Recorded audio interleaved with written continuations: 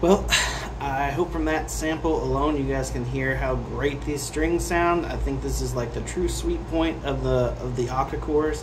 I'm about a weekend. I don't actually remember the last time I recorded the video. I'm pretty sure I changed them last Tuesday and it's Tuesday again. Uh, uh, yeah, these strings are amazing. They sound absolutely incredible. They're exactly what you what I want a mandolin to sound like at this point.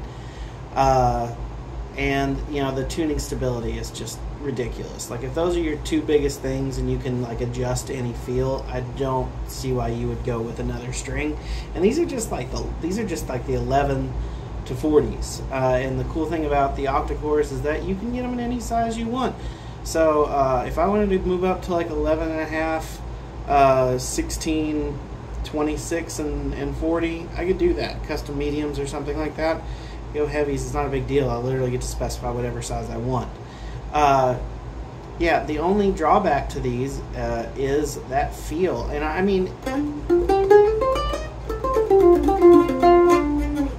as I play them in a bit more, it does it does get a little easier. Like they they have less resistance now. The uh,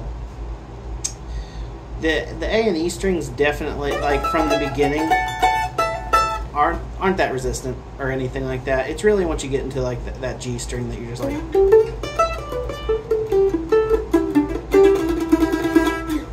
If you're big on sliding on that, it might annoy you, and the coated strings are going to be the fix for that. Uh, but yeah, uh, really impressed. As far as like this is like like as far as sound goes, it's it's like a ten out of ten. May, may, I'll give it like a nine and a half out of ten because I've actually considered moving up to a heavier gauge, especially now I've been using a, uh, a tone slab uh, pick, which uh, I'm kind of obsessed with this so far. Um, yeah, so I'm considering moving up because I, I, do think that the sound could be even better now. So those custom mediums might be on the way. Uh, and uh, as far as like tuning stability, it's like a 10 out of 10 because if it's possible to do 11 out of 10, I would give it like because there's no strings that stay in tune like these. It's crazy. Uh, and as far as like the feel, I'd give this probably like, ah, I'd probably give it like an 8 out of 10. That's my gut feeling. It's pretty good.